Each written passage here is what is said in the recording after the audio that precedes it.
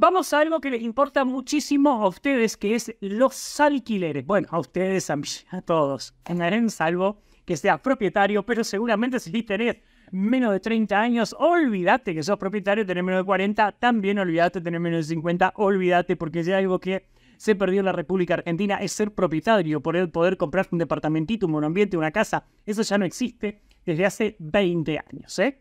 Bueno, vamos a los alquileres. ¿Cómo van a ser los contratos bajo los nuevos cambios con este DNU? El plazo de los contratos de alquileres será el que las partes hayan establecidos y en caso de que no lo aclaren, serán de dos años. Alquiler pasa a ser de dos años. ¿Cómo lo vas a acomodar al alquiler?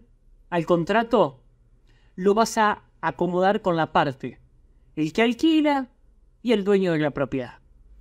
Fin. El decreto aclara que en caso de que no se haya establecido plazo en cada tipo de alquiler, uno, en los casos de locación temporal, se estará al que establezcan los usos y costumbres del lugar donde se asiente el inmueble alquilado. ¿Van entendiendo? O sea, es temporario dejar las cosas como están, no puede tocar el lugar. En los contratos de locación con destino a vivienda permanente, con o sin mueble, serán de dos años. Los restantes destinos serán de tres años. Los contratos se van a poder hacer en... Hay otra cosa que escuché. No, porque ahora vamos a tener que pagar en dólares los alquileres. Eh, primero, número uno. Los, todos los, los, precios de los alquileres están en dólares, por más que los pagues en pesos.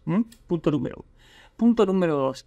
En ningún momento el DNU dice que ahora todos los alquileres se van a pagar en dólares por los dólares. No dice eso el DNU, es falso.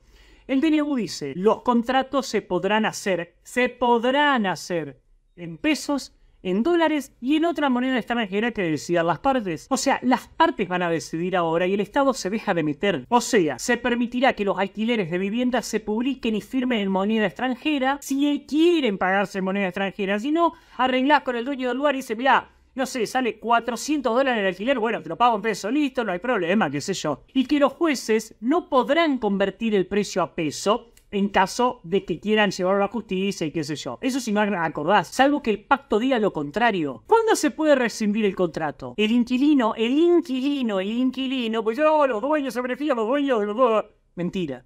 El inquilino podrá en cualquier momento rescindir el contrato abonando el equivalente al 10% del saldo del canon locativo futuro. ¿Qué tiene eso de quitar derechos? Explíquenmelo porque entiendo. Otra cosa que se termina, ya no se deben inscribir los contratos de la FIP. Menos menos burocracia. Fuera. Dado que la ley de alquileres del 2020 creaba la obligatoriedad de registrar los contratos de la FIP, al derogar la ley 27.551, esa obligación queda sin efecto. Menos burocracia. ¿Qué tiene eso de malo? ¿En qué derecho? No voy a poder alquilar. Al contrario, vas a tener más beneficio para alquilar. Ya no se requiere una mediación prejudicial obligatoria para iniciar un proceso de desalojo. Todos aquellos que tenemos algún conocido que tenía departamentos para alquilar, o que tenía una casa que alquiló, o lo que fuese que, que, que alquilaban, todos sabemos que muchos han tenido problemas. ¿Por qué? Porque se te mete gente que después no la podés sacar. Y de ahí que la justicia decida para sacarlos es un trámite gigante y en ese momento que los tenés metido ahí,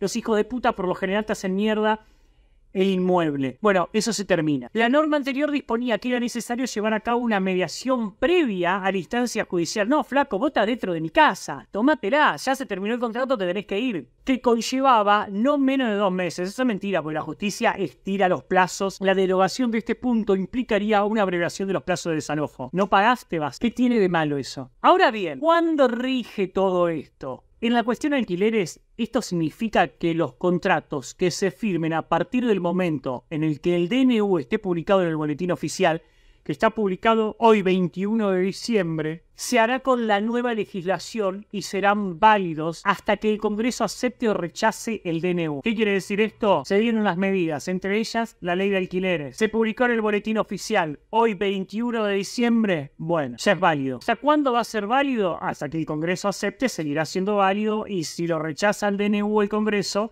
bueno, eso cae. En caso de que el Congreso rechace el DNU, los contratos firmados en este lapso seguirán vigentes, no cambia nada. O sea, todos los que hagan contratos ahora hasta lo que pase en el Congreso van a ser válidos con estas eh, consignas.